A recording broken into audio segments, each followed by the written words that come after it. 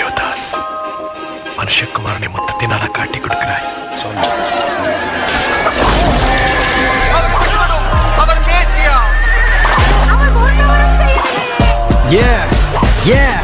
மனதை மாற்றும் மத மாற்றம் அல்ல கிறிஸ்தவ மார்க்கம். உள்ளதை பார்ப்போம் பணத்தை பார்க்கும் எண்ணங்கள் மாற்றும். கேள்விகள் கேட்கும் பாவிகள் கூட்டத்தை மன்னித்து சேர்க்கும் என் தெய்வத்தின் தோற்றம். தலைகள் உயர்த்தி கொள்கதான் நோக்கும்.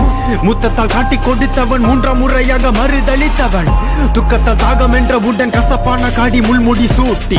கெலி செய்து சிரித்தும் கைகளில் ஆணிகள் பாதித்தும். நோ மன்னிக்க துடிக்கும். என் நெசரி நிதயம் மன்னிக்க துடிக்கும் வெளிச்சத்துக்கும் சம்பந்தம் ஏது?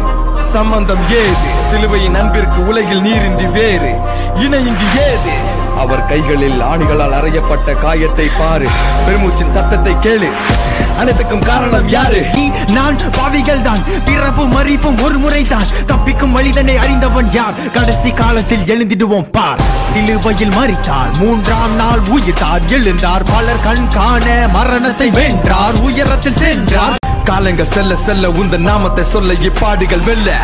பயம் இல்ல இல்ல உம் சமூகம் எனக்கு முன்பாக செல்ல. காலங்கள் செல்ல செல்ல உந்த நாமத்தை சொல்ல இப்பாடுகள் வெல்ல. பயம் இல்ல இல்ல உன் சமூகம் எனக்கு முன்பாக செல்ல. சிலுவையை குறித்தே அல்லாமல் வேறொன்றை குறித்தும் மேன்மை பாராட்ட வேண்டாம்.